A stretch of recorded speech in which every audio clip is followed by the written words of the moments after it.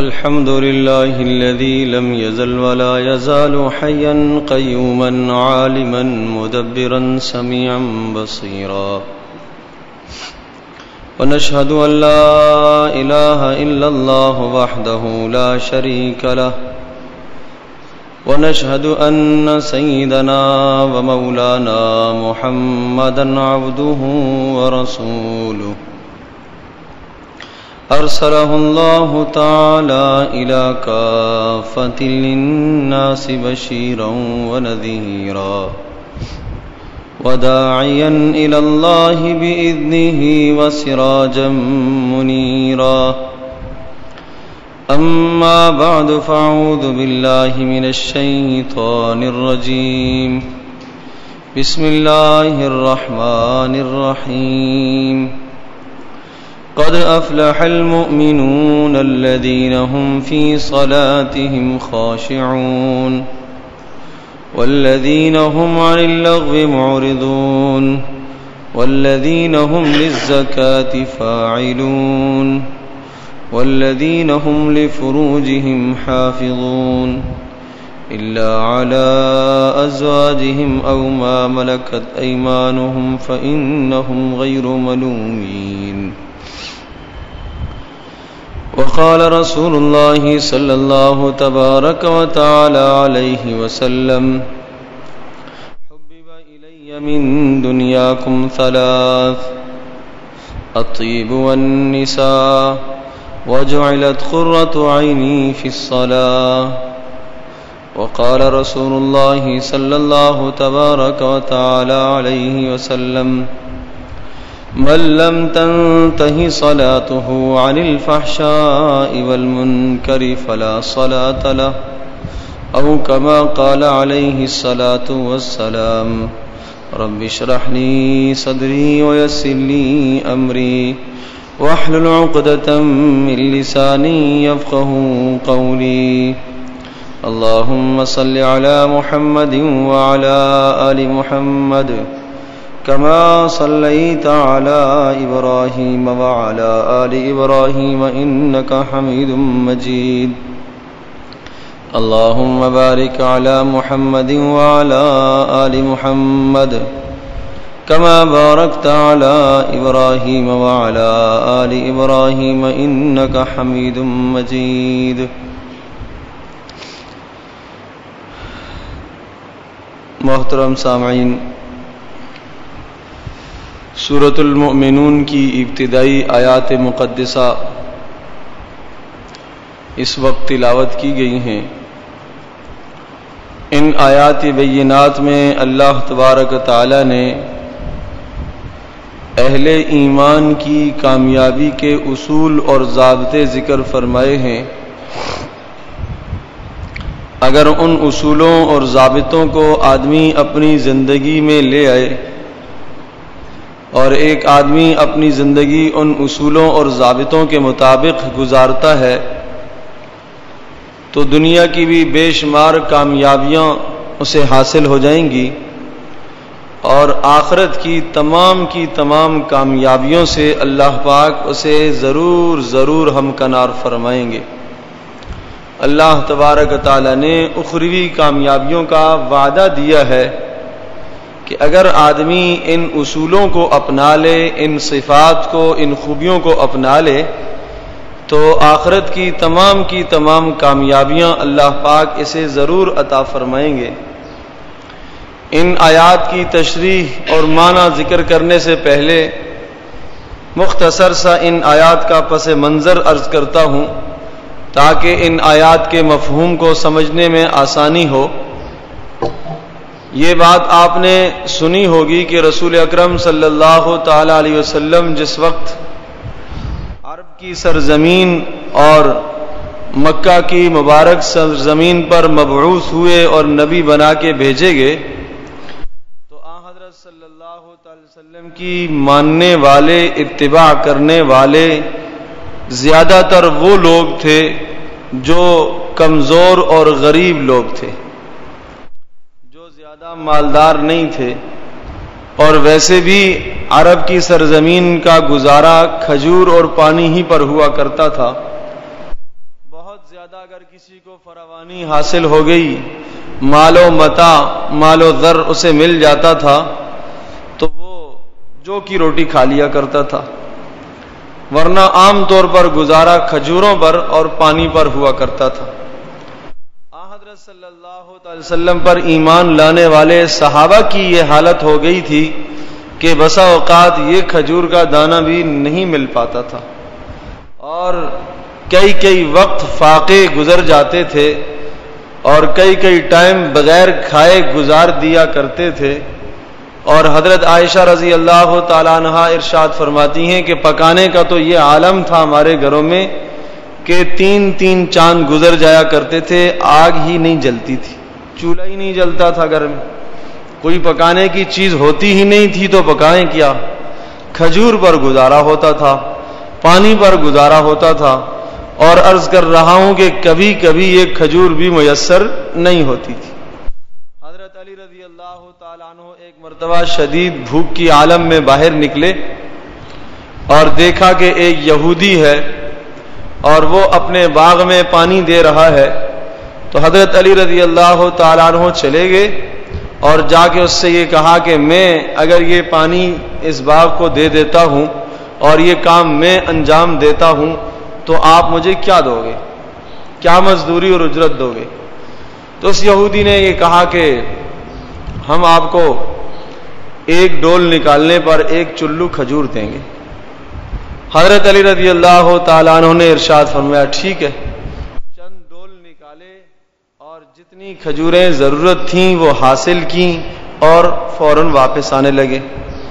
وہ کہنے لگا، میرا اور کام کر کے جاؤ۔ تو حضرت علی نے ارشاد فرمایا کہ نہیں، بس میری ضرورت پوری ہو گئی ہے۔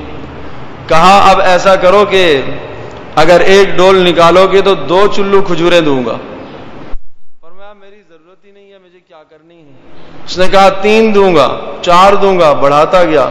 فرمایا، نہیں، میری ضرورت ہی پوری ہو گئی اگلے وقت کا کھانا اللہ پاک دے دے گا۔ اس وقت جو ضرورت تھی، وہ ضرورت میری پوری ہو گئی ہے۔ مزید کی مجھے ضرورت نہیں ہے۔ میں حضرت محمد صلی اللہ علیہ وسلم کے پاس جاؤں گا، ان سے جا کے کچھ باتیں دین کی سیکھ لوں گا۔ وہ میرے لیے کھجوروں سے اور ان سب چیزوں سے بہتر اور افضل ہے۔ تو عرض کر رہا ہوں کہ وہاں زندگی کا معیار یہ تھا۔ اس طرح سے زندگی گزرتی تھی۔ مکہ مکرمہ کے اندر وہ زمانہ بھی صحابہ پر آیا کہ جب شعب ابی طالب میں بند کر دیے گئے مکمل طور پر بائیکاٹ کر دیا اور یہ اعلان کروا دیا گیا کہ کوئی آدمی ان سے بات بھی نہیں کر سکتا۔ کوئی آدمی ان سے کوئی چیز خرید بھی نہیں سکتا۔ کوئی آدمی ان پر کوئی چیز بیچ بھی نہیں سکتا۔ یہ گھاٹی کے اندر صحابہ رسول اکرم صلی اللہ علیہ وسلم اور آپ علیہ السلام پر سارے ایمان لانے والے اور رسول اکرم صلی اللہ علیہ وسلم کے چچا جو ایمان تو نہیں لائے لیکن رسول پاک صلی اللہ علیہ وسلم کی محبت میں وہ بھی یہاں موجود تھے۔ تو یہ دو سال سے کچھ متجاوز وقت اسی طرح سے ان کا گزرا ہے اور صحابہ کا یہ حال ہو گیا تھا۔ بعض صحابہ یہ کہتے ہیں کہ بچے ہمارے بل بلا کے بھوک کی وجہ سے مر گئے۔ موت واقع ہو گئی۔ کھانے کو کچھ نہیں ملتا تھا۔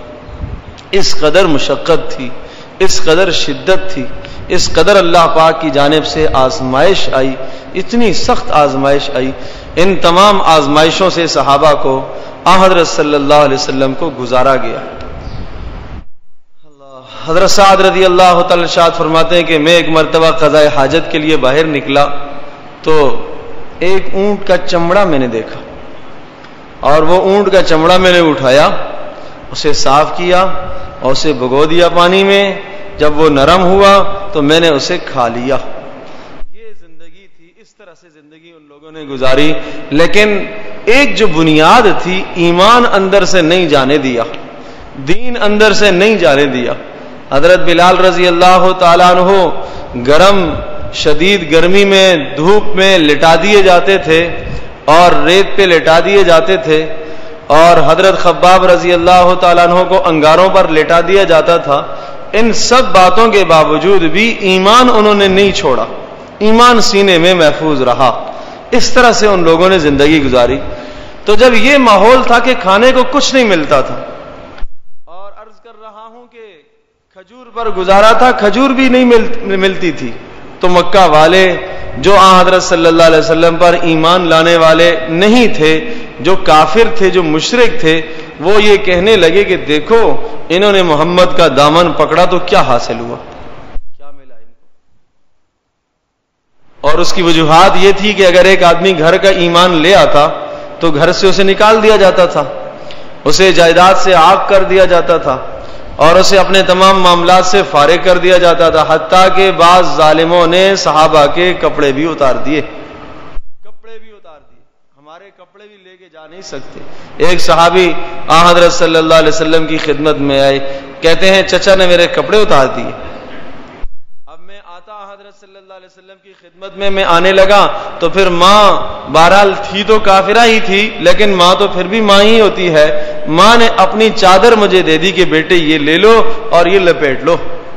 تو کہنے لگے، اس چادر کے دو ٹکڑے میں نے کیے۔ آدھی چادر میں نے نیچے باندھی اور آدھی چادر اوپر اوڑی حضرت محمد صلی اللہ علیہ وسلم کی خدمت میں حاضر ہو گیا۔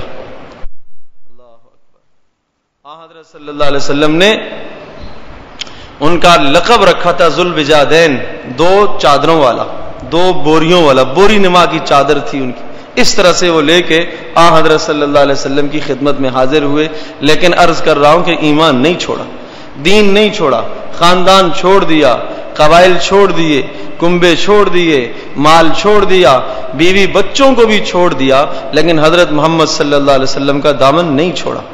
تو یہ حالات تھے جب حالات میں مشرقین مکہ کہنے لگے کہ ان لوگوں کو بلا کیا حاصل ہوا؟ محمد کا دامن پکڑا انہوں نے، کلمہ انہوں نے پڑھا ہے، انہیں حاصل کیا ہوا؟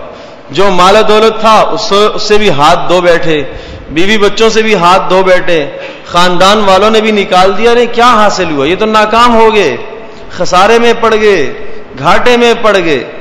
تو میرے عزیز دوست اور بزرگوں جب اس قسم کی باتیں ہونے لگی تو صحابہ کے دل میں وہ نشتر لگنے لگے کہ یہ ظالم کیا باتیں کر رہے ایک طرف اذیت زبانی، ایک طرف اذیت جسمانی جسمانی اذیت بھی کوئی کم نہیں ہے، اور جسمانی اذیت کے بعد یہ زبانی باتیں یہ اور زیادہ انسان کو کھلنے لگتی ہیں۔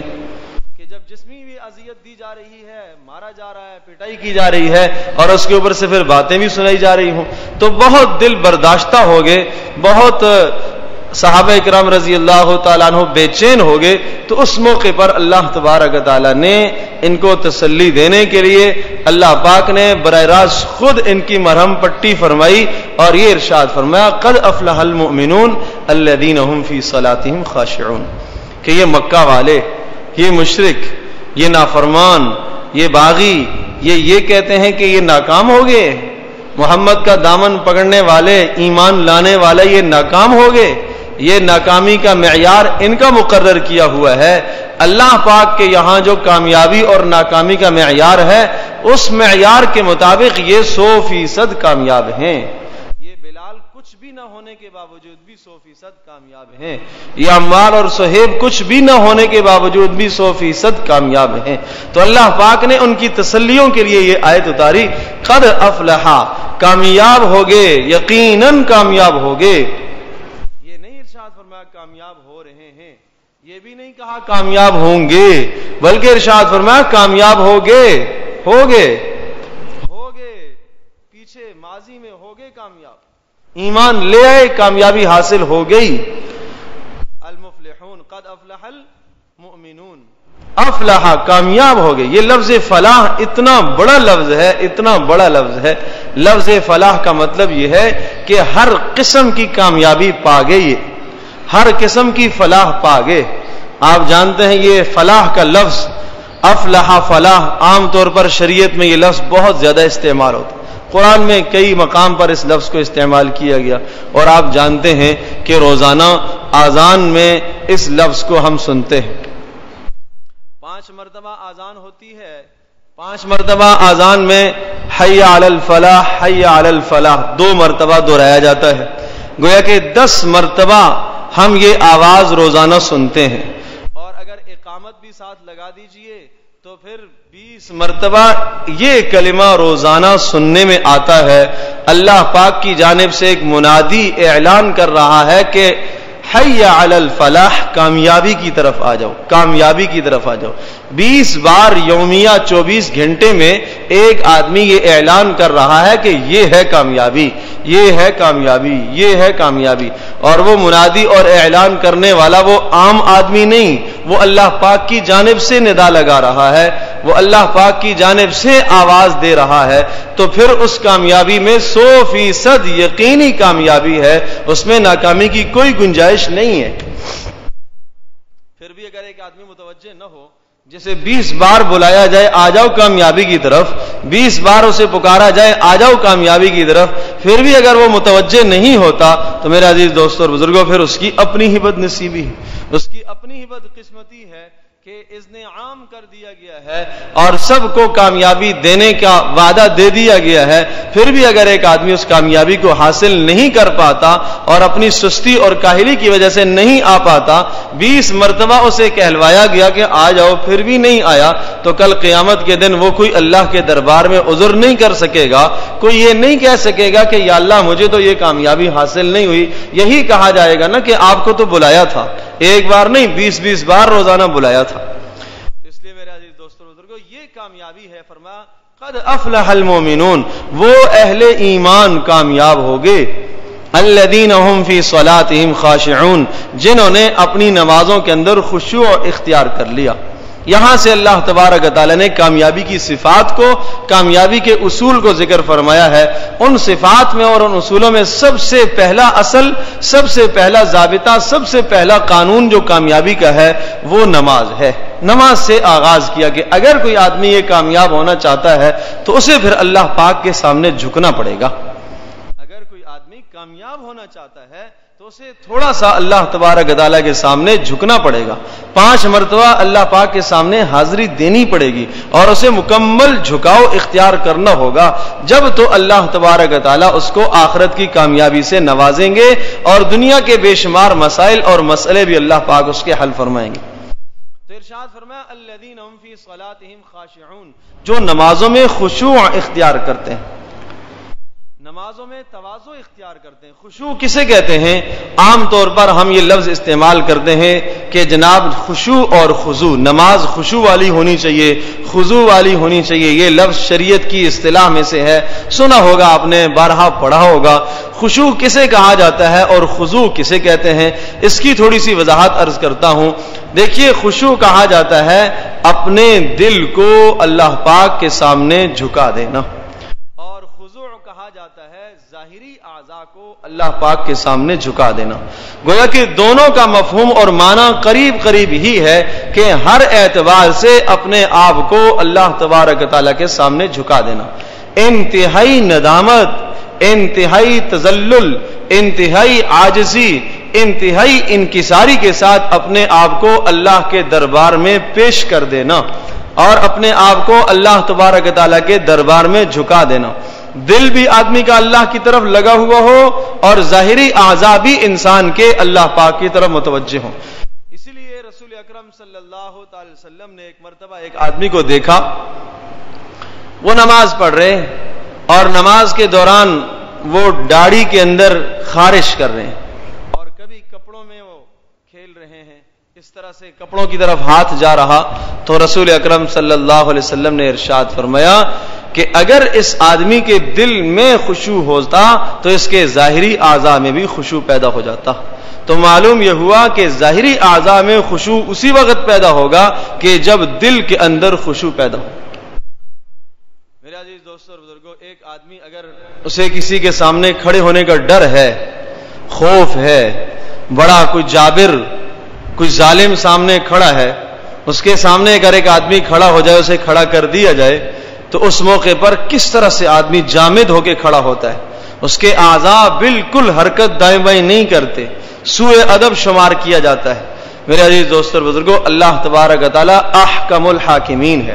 وہ مہربان مالک ہے، وہ شفقت فرمانے والا ہے، وہ رحم کرنے والا ہے، وہ بخشش کرنے والا ہے۔ اور وہ انتہائی غفور ہے، انتہائی رحیم ہے، اس کے دربار میں کھڑے ہونے کے آداب اس سے کہیں زیادہ ہونے چاہیے۔ اس سے کہیں زیادہ ہونا چاہیے کہ ایک دنیا کے انسان سے ڈر کر انسان جب کھڑا ہوتا ہے تو آدمی کے آزاد دائیں بائیں حرکت نہیں کرتے۔ تو اللہ تبارک تعالیٰ کے دربار میں جب کھڑا ہو تو اس سے زیادہ اسے خوف رکھنا چاہیے۔ اسے خوف کس چیز کا ہونا چاہیے؟ اسے خوف اور ڈر اللہ پاک کی ناراضگی کا ہونا چاہیے۔ دو طرح کا خوف ہوتا ہے۔ ایک اللہ پاک کے عذاب سے ڈرنا، یہ بھی مطلوب ہے۔ ایک اللہ پاک کی ناراضگی سے ڈرنا، یہ بھی مطلوب ہے۔ لیکن اللہ پاک کی ناراضگی سے ڈرنا، یہ زیادہ افضل ہے۔ یہ زیادہ اولا بات ہے کہ اللہ پاک ناراض نہ ہو جائے بس۔ عذاب سے مجھے سروکار نہیں ہے۔ ہاں اللہ تبارک تعالیٰ مجھ سے ناراض نہ ہو جائے، اللہ پاک کی ناراضگی سے ڈرے۔ اس طرح سے اللہ تبارک تعالیٰ کے دربار میں آئے، ظاہری خوشو بھی ہو اور باطنی خوشو بھی ہو۔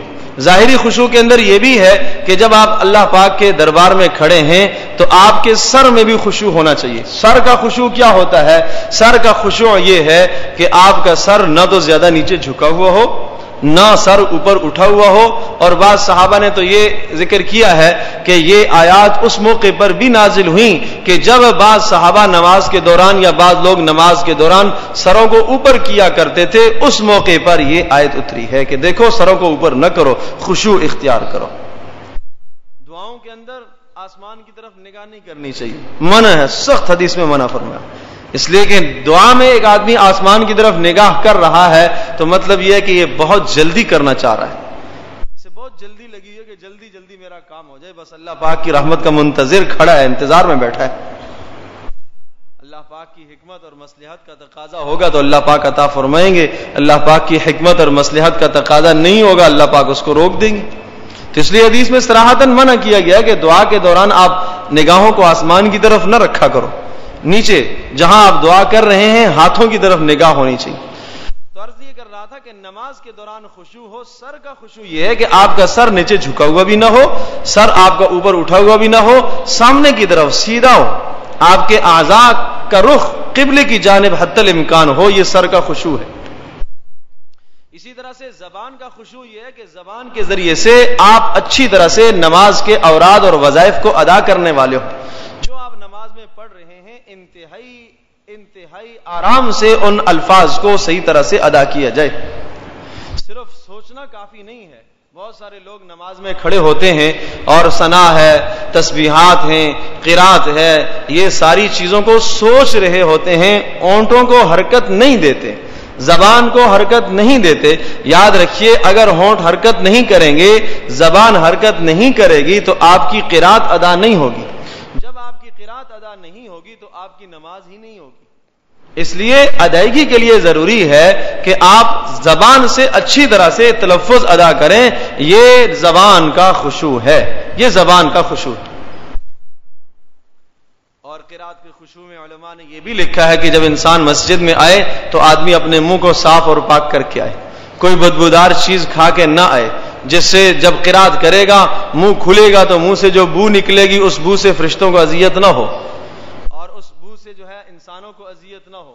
آپ علیہ السلاۃ والسلام نے ارشاد فرمایا کہ جس چیز سے انسانوں کو اذیت ہوتی ہے، اس سے ملائکہ کو بھی اذیت ہوتی ہے۔ جب تم مسجد میں آؤ تو کچی پیاز کھا کے نہ آیا کرو، لہسن کھا کے نہ آیا کرو، کوئی بدبودار چیز استعمال کر کے نہ آیا کرو جس سے مسجد کے اندر بدبو نہ پیدا ہو۔ کہیں ایسا نہ ہو کہ فرشتوں کو اذیت ہو۔ یہ بھی آداب میں سے ہے اور اگر کھانے کے ذرات اور ریزے اندر موجود ہیں کہ جب آدمی نماز پڑھ رہا ہے تو وہ چھوٹے چھوٹے ذرات اگر نکل آئیں گے تو پھر قرآت کے اندر مشکل پیدا ہوتی ہے۔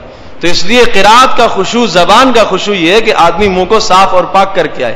کھانا اگر کھایا ہے تو کھانا کھانے کے بعد وضو کرنے کی کوئی ضرورت نہیں ہے۔ پہلے سے آپ کا وضو ہے، کھانا کھانے سے وضو نہیں ٹوٹتا۔ ہاں ہاتھ دھو کے آ جائیے، منہ کلی کر کے آ جائیے، اچھی طرح سے منہ صاف کر کے آ جائیے تاکہ نماز کے دوران آپ کو کوئی پریشانی نہ ہو۔ کانوں کا خوشو بھی ہے۔ کانوں کا خوشو یہ ہے کہ جو کلمات اگر امام ادا کر رہا ہے، انتہائی توجہ کے ساتھ ان کلمات کو سنا جائے۔ انتہائی دھیان کے ساتھ ان کلمات کو سنا جائے۔ اور اس بات معنی سمجھنے کی کوشش کی جائے کہ کیا معنی اور مفہوم ہے۔ جنت کا تذکرہ چل رہا ہے، جہنم کا تذکرہ چل رہا ہے۔ اتنا تو کم از کم آیات میں اندازہ ہو ہی جاتا ہے۔ یہ کانوں کا خوشو ہے۔ اور اسی طرح سے اگر اکیلے میں نماز پڑھ رہا ہے، اپنے جو کلمات نماز کے اندر کے ادا کر رہا ہے، ان کلمات کی آہستہ آہستہ آواز کان میں آنی چاہیے۔ اتنی آواز بلند بھی نہ کرے کہ برابر والے کو پریشانی ہو۔ تو یہ کان کے آداب میں سے ہے کہ کان کو بھی نماز ہی کی طرف متوجہ رکھنا ہے۔ ہاتھ کے آداب اور ہاتھ کا خوشو یہ ہے کہ ایک سیدھے ہاتھ کو الٹے ہاتھ کے اوپر باندھ کر وہ انسان اللہ پاک کے سامنے دونوں ہاتھوں کو باندھ کر غلاموں کی طرح کھڑا ہو جائے۔ غلاموں کی طرح اللہ کے دربار میں کھڑا ہو گیا۔ یہ ہاتھوں کا خوشو اور خزو ہے۔ یہ ہاتھوں کے آداب ہیں۔ اسی طرح سے پاؤں کے آداب یہ ہیں کہ جناب آپ نے جہاں کھڑے ہو کے نماز پڑھنی ہے، شروع سے لے کر آخر تک آپ کے پاؤں جمے رہیں استقلال رہے، ثابت قدم رہنا چاہیے۔ ایسا نہیں ہے کہ ادھر مکھی نے کاٹ لیا، مچھر نے کاٹ لیا تو حرکت کرنا آدمی شروع ہو گیا۔ ان چھوٹی چھوٹی حرکتوں کو آدمی برداشت کر لے۔ ان چھوٹی چھوٹی باتوں کو آدمی برداشت کر لے۔ اس لیے لکھا ہے کہ اگر ایک آدمی ایک رکن کے اندر تین مرتبہ ہاتھ کو ہلا لیتا ہے تو اس کی نماز فاسد ہو جاتی ہے۔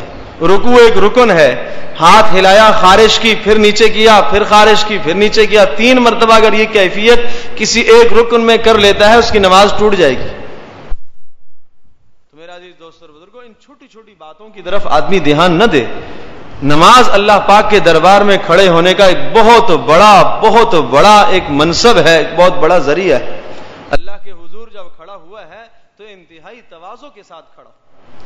سر کے آداب میں ایک بات یہ بھی ہے کہ جب انسان اللہ کے حضور، اللہ کے دربار میں آئے تو آدمی کا سر ڈھکا ہوا ہونا چاہیے۔ یہ سر کے آداب میں ہے۔ یہ نماز کے خوشو کے آداب میں یہ بات داخل ہے۔ بات اس کی نہیں ہو رہی ہے کہ آپ کہیں گے کہ جناب اگر بغیر ٹوپی کے یا ننگے سر نماز پڑھ لی جائے تو نماز تو ادا ہو جاتی ہے۔ ادا ہونے کی بات نہیں ہے، نماز کا خوشبو ضائع ہو جاتا ہے۔ فرض تو ذمے سے اتر جائے گا، یہ نہیں کہا جائے گا کہ آپ نے نماز نہیں پڑھی ہے نماز تو پڑھی ہے، لیکن نماز کا جو خوشبو ہے وہ رہ گیا۔ نماز کے جو ثواب تھے اور نماز کے جو فوائد تھے وہ تو رہ گئے۔ آ حضرت صلی اللہ تعالی وسلم ہمیشہ سر ڈھک کر نماز پڑھا کرتے تھے۔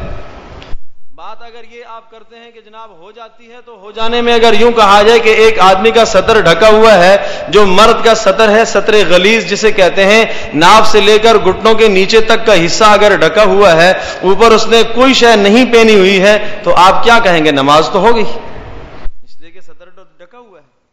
لیکن کیا کوئی آدمی یہ گوارا کرتا ہے اس طرح سے مسجد میں آنا؟ یقیناً نہیں گوارا کرے گا۔ اس لیے وہ سمجھتا ہے کہ نہیں بھائی، لوگ کیا کہیں گے؟ تو میرے عزیز دوست اور بزرگوں ایسا لباس، ایسا حلیہ اختیار کر کے اللہ کے دربار میں نہ کھڑا ہو، جس حلیے اور جس لباس کے ساتھ لوگوں کی محفل میں جانا پسند نہیں کرتا۔ جب لوگوں کی محفل میں ایسے حلیے میں اور لباس میں جانا پسند نہیں کرتا، تو اللہ تبارک تعالیٰ کے دربار میں بھی اس طرح سے نہ آئے۔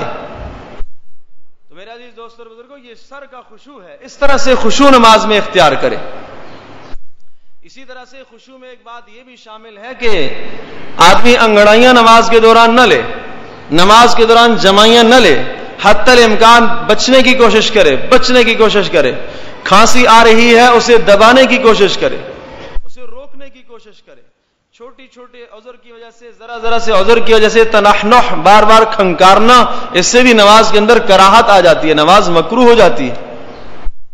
یہ اللہ کے حضور میں کھڑا ہے، اللہ کے دربار میں کھڑا ہے۔ ایسا تو نہیں ہے کہ جیسا آیا اور جس طرح سے جی چاہا، بس نماز پڑھ کے آدمی کہے کہ میں نے بہت بڑا فریضہ ادا کر دیا۔ میرے عزیز دوست اور بزرگوں یہ تو وہ فریضہ ہے کہ جس فریضے کو آسمان اور زمین بھی نہ اٹھا سکے۔ کہ جس کے متعلق آتا ہے کہ جب اذان ہو جایا کرتی تھی تو حضرت علی رضی اللہ تعالیٰ عنہ کے چہرہ فق ہو جایا کرتا تھا۔ رنگ متغیر ہو جایا کرتا تھا۔ لوگ پوچھتے تھے، اتنا پریشان آپ کیوں ہوگے تو فرمایا کرتے تھے کہ تمہیں معلوم نہیں ہے، احکم الحاکمین کے دربار میں حاضری کا وقت آ گیا ہے۔ حاضری کا وقت آ گیا ہے اور اس امانت کی ادائیگی کا وقت آیا کہ جس امانت کی ادائیگی سے آسمان بھی آجز رہا، زمین بھی قاصر رہی اور پہاڑوں نے بھی اٹھانے سے انکار کر دیا، اس امانت کی ادائیگی کا وقت آ گیا ہے، اس لیے میری یہ کیفیت ہو جاتی ہے۔ حضرت صلی اللہ علیہ وسلم کا اپنا یہ عالم تھا۔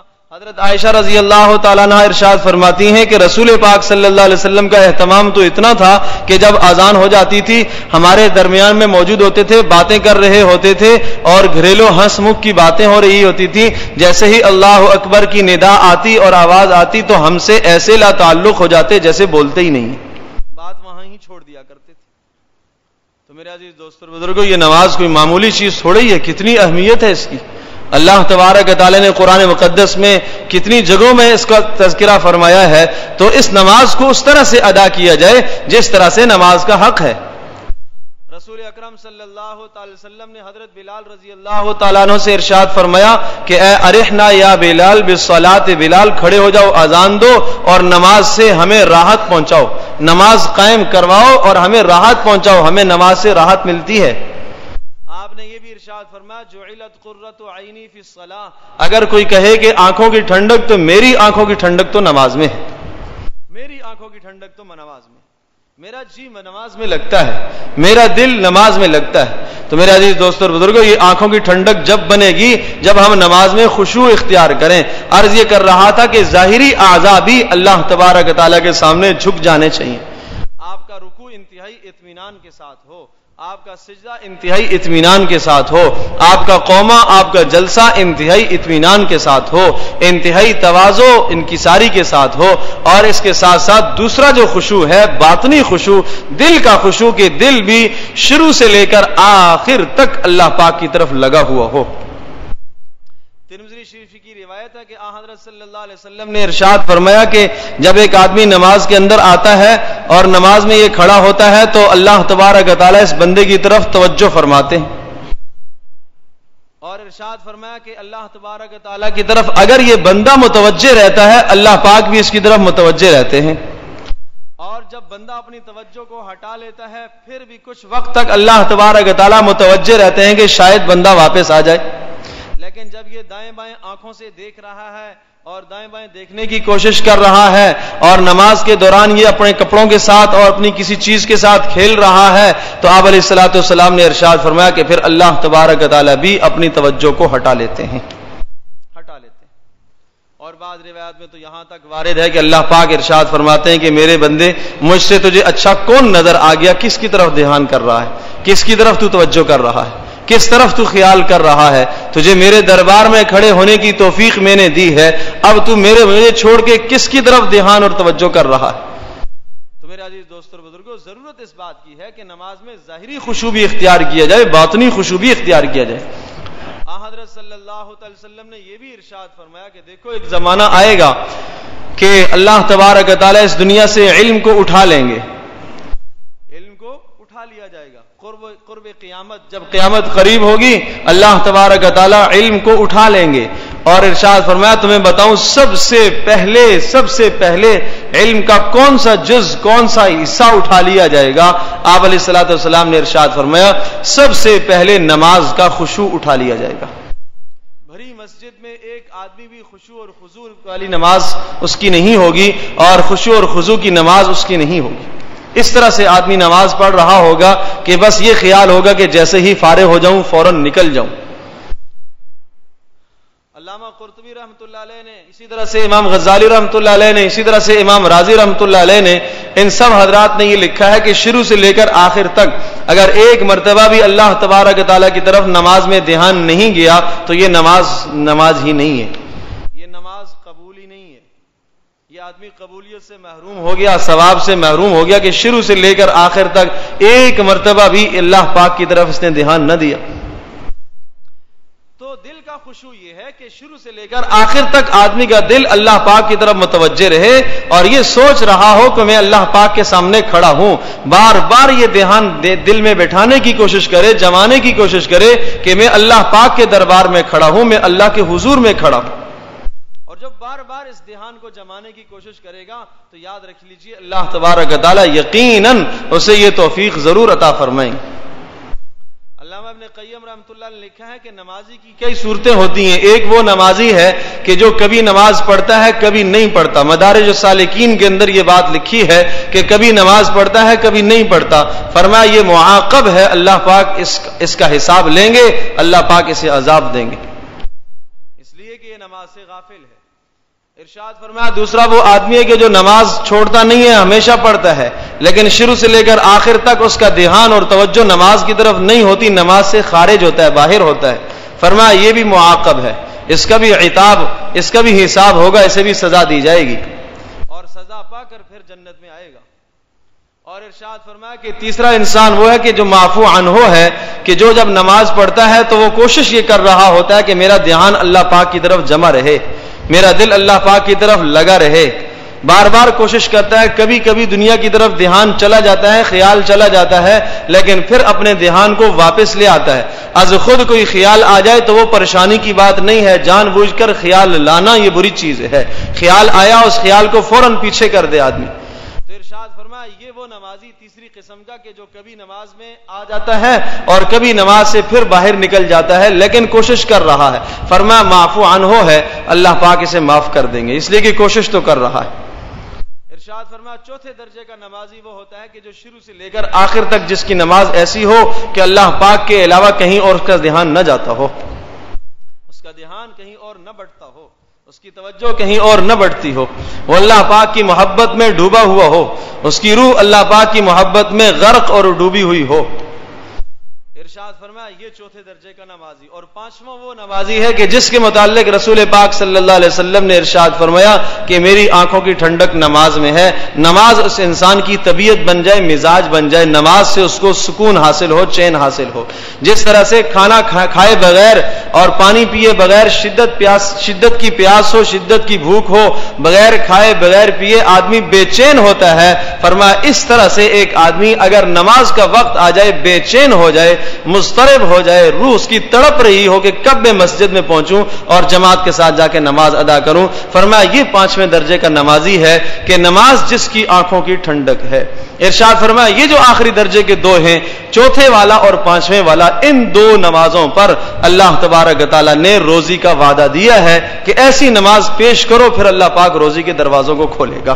پھر اللہ تبارک تعالیٰ تمہاری مدد کرے گا۔ پہلی تین نمازوں پر اللہ پاک کی جانب سے کوئی وعدہ نہیں ہے۔ میرے عزیز دوست اور بزرگوں ہم کوشش تو کریں، ہم محنت تو کریں۔ پہلے درجے کا نمازی بھی ہم نہ بنے کہ کبھی پڑھ لی اور کبھی نہ پڑھی، اس سے بھی اجتناب کیجیے۔ دوسرے درجے کا نمازی بھی ہم نہ بنے کہ نہ پڑھتے تو ہیں، لیکن شروع سے لے کر آخر تک نماز کی طرف دھیان نہیں ہے۔ ایسے ہی نمازیوں کے متعلق ارشاد فرمایا فویل للمسلین ہلاکت ہے ایسے نمازیوں کے لیے جو اپنی نماز سے غافل ہوتے ہیں۔ یعنی جنہیں دھیان ہی نہیں ہوتا نماز کے اندر ہم نماز میں کھڑے ہیں، کہاں ہیں؟ تیسرے درجے کا وہ نمازی ہے کہ جو کبھی نماز کی طرف دھیان آ جاتا ہے، کبھی باہر چلا جاتا ہے۔ یہاں سے آپ اپنی زندگی کو آغاز کریں اور یہاں سے ہم کوشش کریں کہ ایسا تیسرے درجے کا نمازی بننے کی تو کم از کم کوشش کریں۔ بار بار دھیان جمانے کی کوشش کریں۔ جب آپ تیسرے درجے پر آئیں گے تو اللہ پاک چوتھے کی بھی توفیق دیں گے۔ آپ چوتھے پر آئیں گے تو اللہ تبارک تعالیٰ آپ نماز کو آپ کی طبیعت بنا دیں گے اور نماز آپ کی آنکھوں کی ٹھنڈک بن جائے گی۔ اللہ تبارک تعالیٰ میرے اور آپ اور ہم سب کے لیے عمل کرنا آسان فرمائے۔ وہ دعوانا الحمد للہ رب العالمین۔